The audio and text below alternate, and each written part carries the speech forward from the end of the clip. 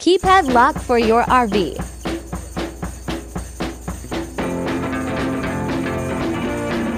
Remote for locking and unlocking the door.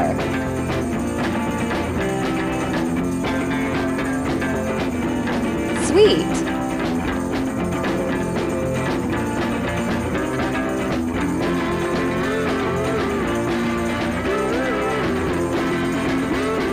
Punch in your code. It's that simple.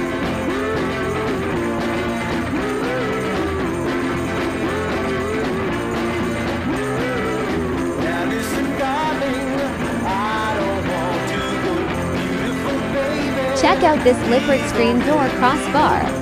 Open your screen door with ease.